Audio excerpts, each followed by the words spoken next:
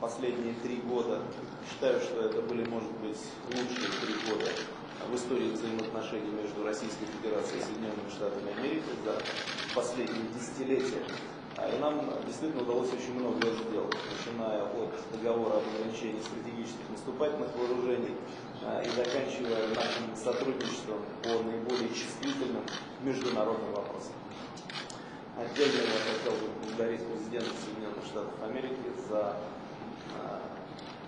работу и поддержку, которая была оказана Российской Федерации на пути вступления в Всемирную торговую организацию. А, это для нас очень важная тема.